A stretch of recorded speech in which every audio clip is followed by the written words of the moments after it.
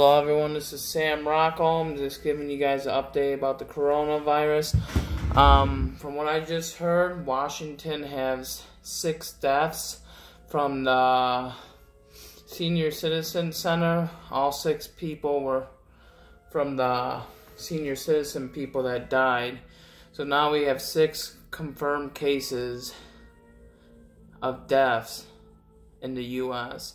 To my standards, I think we're going to be by at least 100 cases in the next day, you know, because they're saying now there's going to be clusters coming from Washington.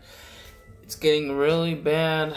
Tomorrow I'm going to go shopping, get some more food, probably get a Sam's Club card because this is getting really serious, you know, and a lot of people are worrying about this virus because it's not getting any good, you know, and um, Italy's almost at 2,000, South Korea is almost at 5,000, and in the past week it just keeps rising, and everyone quit thinking this is just the flu, you know, the flu killed more than this virus. Well, this virus is 20 times worse than the flu because you know, it doesn't spread like that, you know, and then even if you still you get the virus, you still have it.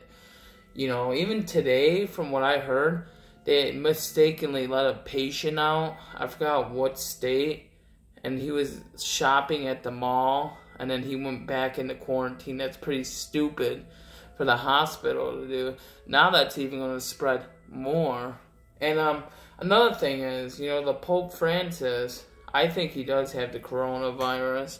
It's kind of strange how they didn't report that what in Italy. They probably don't want to scare people, but I bet you most of those people, that's why, you know, there's more infected out in Italy, probably because they're shaking his hand and all that. It's just, you know, and people are talking about, which is so stupid, the 5G. The, the 5G has nothing to do with the coronavirus, okay, people? This is so far ridiculous with the 5G. It's just the corona is coming from the Chinese eating wild animals. You're not supposed to be eating certain type of animals like bat soup and all that. Everyone, I think, um, you know, I did some shopping last week. You know, start stock stocking up. I want to get more water. I gotta get a shitload of toilet paper and you know, everyone should start doing the same because it's, you know, the government, they're saying that it's not going to be bad, telling us not to wear masks, but we have to wear it because they're just trying to shorten the population and don't listen to them. You know, from what I heard, a firefighter in California, he left with his family because now supposedly FEMA camps are getting built there, and that's kind of scary, you know.